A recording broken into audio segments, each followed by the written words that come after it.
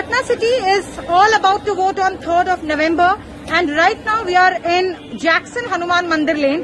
This is actually a sweet shop lane and today we will try and understand the issues as uh, issues for people uh, of this area, what exactly they are planning to vote for. We will speak to the customers, we will speak to the shopkeepers. So here we are. Sir आपसे समझना चाहेंगे कि चुनाव के लिए इस बार आपके लिए मुद्दे क्या हैं किन मुद्दों पे वोट डालने वाले हैं आप सबसे बड़ा यहाँ मुद्दा बेरोजगारी का है शिक्षा का है स्वास्थ्य का है। हम्म इन तमाम तीन मुद्दे जो हैं इस बिहार में। सबसे बड़ा मुद्दा है। ठीक है। जाति धर्म से ऊपर उठ के बिल्कुल। हम तमाम लोगों को देखना चाहिए कि जो जीवन से जुड़ा हुआ मुद्दा है हम्म। खाने का शिक्षा का करेक्ट और स्वास्थ्य का हम्म। ये तीनों मुद्दा रहेगा ही नहीं। हम्म। चरमरा दिया है जिस तरह से बिहार में। हम्म। तो ये तीनों चीज़ रहेगा ही नहीं तो जीवन में आज आद, आदमी स्वास्थ्य भी नहीं रह पाएगा और Correct. खुद की स्वास्थ्य तो दूर की चीज़ है। दुनिया में तो ज़िंदा रह ही नहीं पाएगा तीनों तीनों मुद्दा ज़िंदा नहीं होगा तो। करेक्ट सर इनके लिए जैसे स्वास्थ्य शिक्षा बेरोजगारी बड़े मुद्दे हैं। आपके लिए आप किन चीज़ों को ध्यान में रख के वोट डालेंगे? आपके लिए भी क्या ये मुद्दे हैं कि बाकी किसी चीज़ को ध्यान में रखेंगे? मुद्दा तो यही है। हम्म, सबसे पहला है बेरोजगारी दूर कीजिए। हम्म, हर बिज़नेस चौपट है। ठीक है। लॉस जा रहा है। ठीक है। शिक्षा चौपट हो गया है। हम्म, हम्म, मुद्दे पे वोट करेक्ट किलो हो गया। खाने पीने का जो चीज़ें हैं सब्ज़ी हो गया दाल हो गया। सब हर चीज़ महँगा है गरीब के पहुँच से दूर हो गया है। Correct so these are people who are in business and as I said this is the sweet shop lane in Patna junction Hanuman Mandir let's try and talk to some more shopkeepers sir दुकान है आपकी यहाँ पे।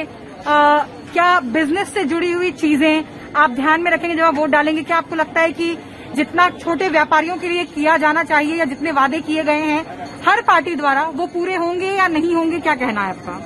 बताइए बोलिए आप सभी वादा तो पूरा नहीं हो पाएगा ठीक है। लेकिन कुछ वादे तो पूरे होंगे। ठीक है। ये नौजवान युवक को एक मतलब मुद्दा मिला है और इस मुद्दे पर इंशाल्लाह काम होगा हम्म। लेकिन पूरा मुद्दा तो कोई भी नेता पूरा नहीं कर सकता। इतनी उम्मीद नहीं करते आप किसी पार्टी से? नहीं किसी पार्टी पर नहीं बोल रहे हैं हम। हम्म। मतलब जो सवाल मुद्दे का है वो पूरा मुद्दा पूरा नहीं हो सकता। ठीक है। लेकिन आप लोगों की प्रायोरिटीज प्राथमिकताएँ क्या रहेंगी जब वोट डालेंगे तब? बिज़नेस से जुड़े हुए हैं तो फिर बिज़नेस की रहेगा ठीक है। कि बिज़नेस में कुछ ग्रोथ बढ़े। है कोई स्पेसिफिक मांग है आपकी ध्यान में? नहीं, हम लोग का मांग है ऐसा कुछ नहीं।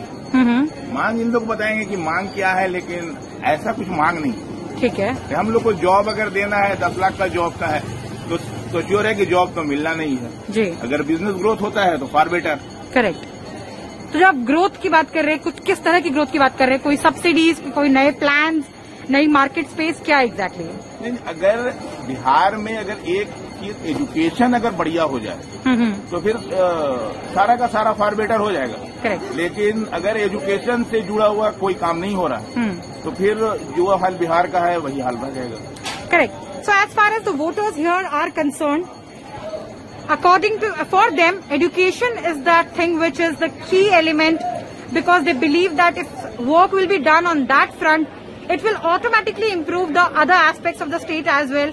But will it happen or not is something, of course, for which everybody has to wait.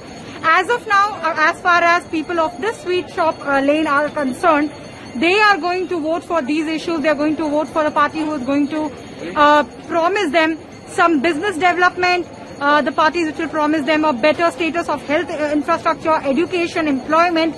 And uh, these are the people who are going to cast their votes on 3rd of November and going to decide the fate of several parties which are in this political war this time.